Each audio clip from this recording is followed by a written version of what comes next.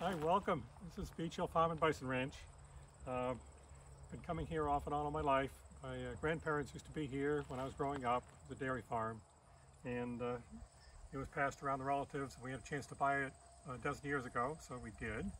Moved up from Connecticut, and uh, the bison had arrived here before we took over, so we also uh, purchased the bison and uh, started raising them as well as well as vegetables.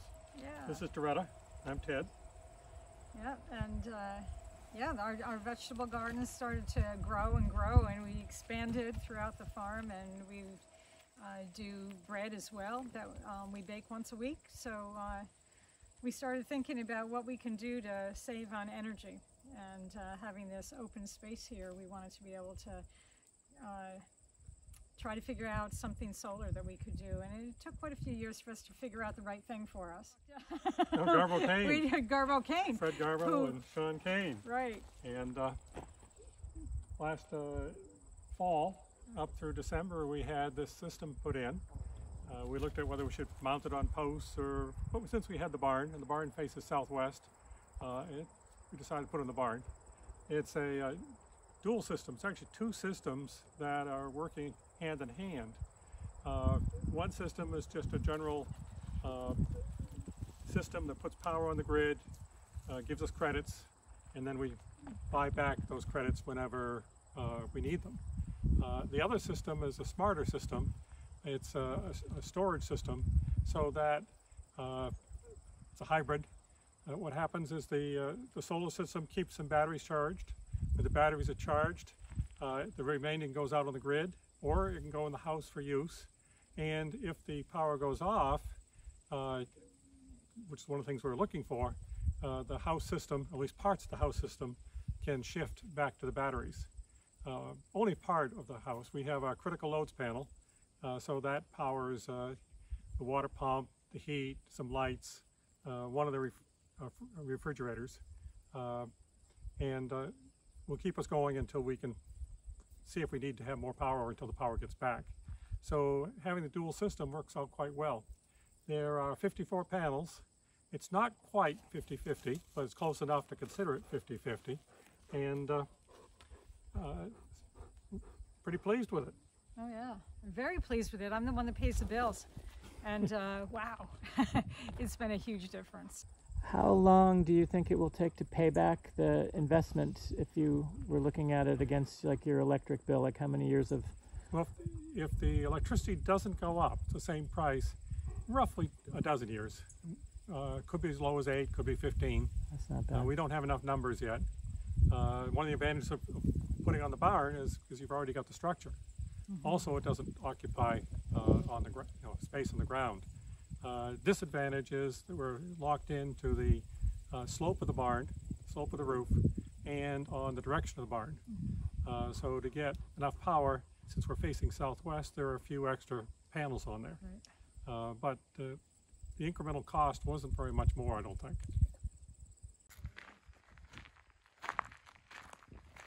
It's strange to see them when they're laying their sides.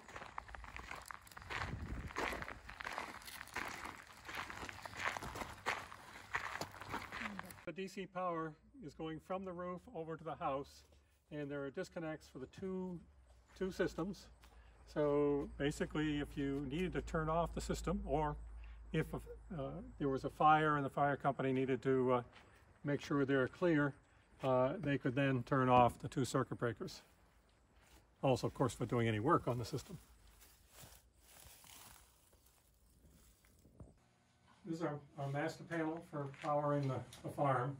And uh, this, this inverter is the system that it takes half the panels and this is the hybrid system, charges the battery pack. So if the batteries, uh, if the power goes off on the house, say a nice snowstorm, then it's able to shift the power and power this portion, which is the critical loads panel, um, by battery. Normally it operates uh, just off the, uh, the grid, of course.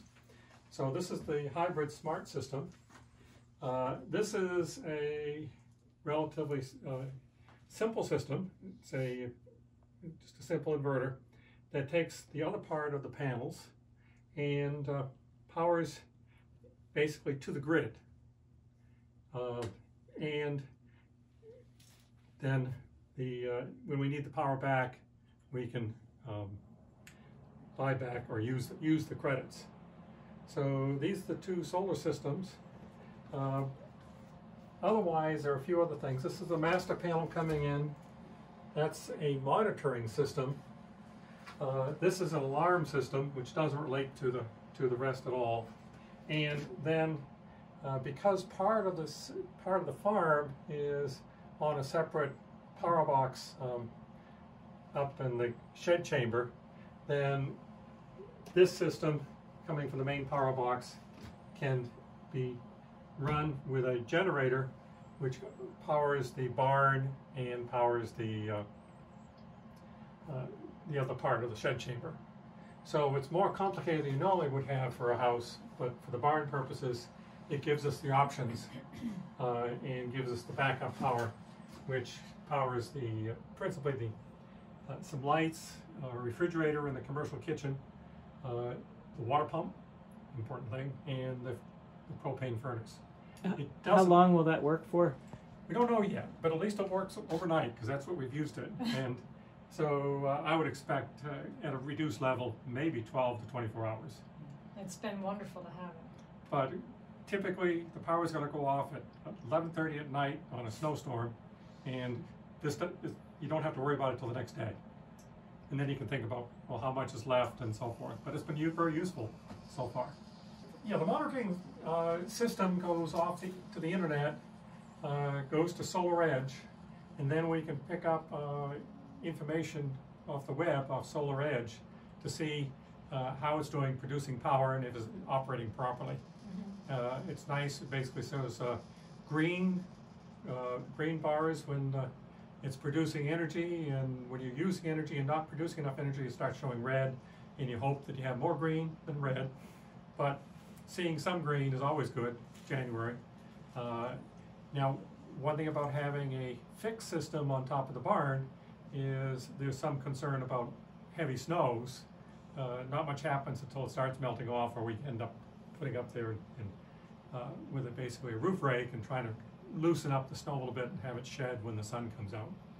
Um, but the monitoring uh, works off the internet. We can pick it up on the iPhone. We can pick it up on the on the computer. We used to look at it every day. it's probably been a month since I've looked at it. Because then I can tell Ted, you go turn that fan off. Go turn. You're using Yeah, too she's, much.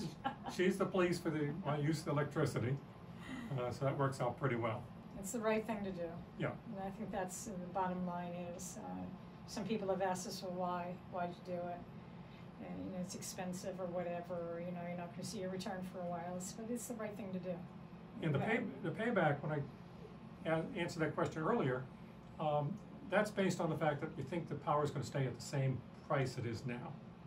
And, uh, I don't expect that, I expect the power, the price per unit of energy is gonna go up, so the payback gets quicker. But as Doretta said, we feel good because it's the right thing to do. If we had more roof, we probably would have made it bigger, but, Sure. you know, uh, but it was the right thing to do.